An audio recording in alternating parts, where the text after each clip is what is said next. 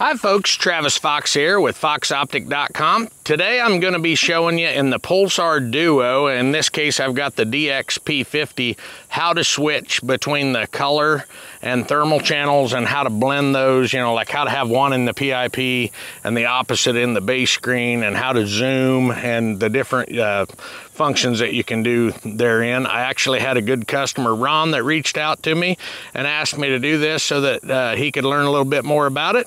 So this one's for you, Ron. So let's jump inside the device. I'm gonna go ahead and hit the record so I can show you what I'm doing here.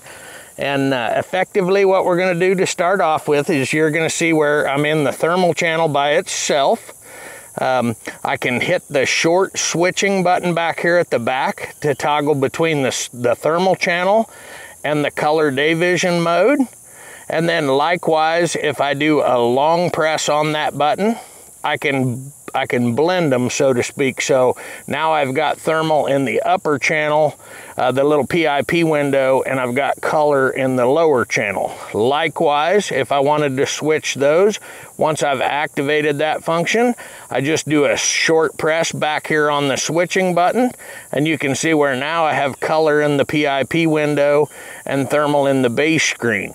Uh, the base screen is always going to be a little wider than the upper screen in the sense that uh, because I've got the widest field of view possible there in that main screen and the PIP window has to be constrained a bit smaller, you have to have double the magnification in the PIP window, but that's okay because that's intuitive for the way that it's used to get better detail on those subjects that are a little bit farther out there. So, you know, just keep that in mind. Uh, also, if I want to step zoom just in the PIP while the PIP is active, I can do short presses of the plus button up here, which are going to allow me to zoom, you know, just inside that PIP window and then again, I could do the same thing if I do a short switch and go to color only. If I wanted to zoom just in that color uh, PIP window, then short presses up there are gonna accomplish the same thing. If I want a smooth zoom, then I do a short press on the plus button and roll the encoder. Uh, by rolling the encoder while that's active, you can see there where I can adjust in 0.1 increments. So that can be handy sometimes if you don't want to take uh, the values that the step zoom gives you, which are essentially going to be in the PIP window on the on the XP uh, 50 model or DXP 50 model 4, 8, and 16.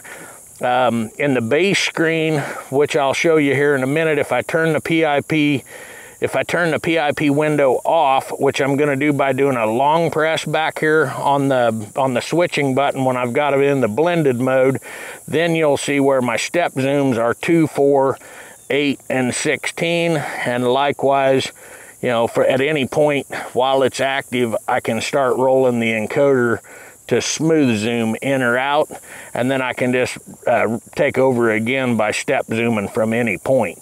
So again, if I'm in the base mode, want to switch between thermal and digital, short press on the switching button. But you know that's gonna that's gonna allow me to do that and then long press to bring up the blended mode you know and short press to invert those. So his question was specifically well what if i want just the thermal channel? Let's say it's gotten dark and i want the thermal channel alone.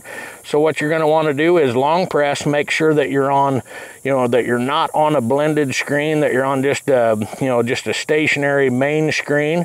And then what you're going to do is perform a long press on this plus button button over here to turn on the PIP.